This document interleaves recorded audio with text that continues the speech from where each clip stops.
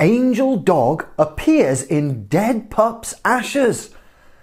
One very special golden retriever named Wagner has left his owners a very special picture to remember him by.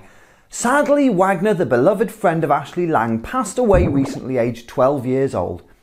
Many people wonder if, when they lose somebody special, that person is able to give them loving little messages to comfort them and remind them that they're still with them.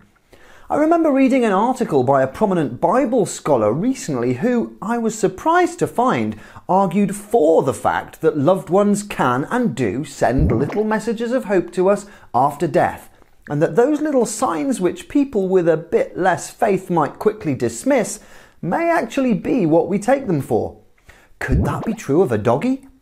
Ashley had Wagner's ashes and took them to a special place to scatter them while her friend snapped a photo and this remarkable picture has since gone viral.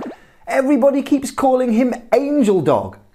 As you can see from the picture, there is an uncanny resemblance between the image of a cloud of ash and the shape of a dog jumping up playfully. Lang told CBS Chicago that she thought it was pretty remarkable. It looks like a tail and legs and that he's jumping up. Ashley believes this was Wagner's way of giving her a last loving goodbye. What do you think? Would it be a remarkable coincidence if random objects didn't occasionally form recognisable shapes? Or should we be a bit more willing to accept that the spirit of that dog was somehow able to be playful with his loving owner one last time?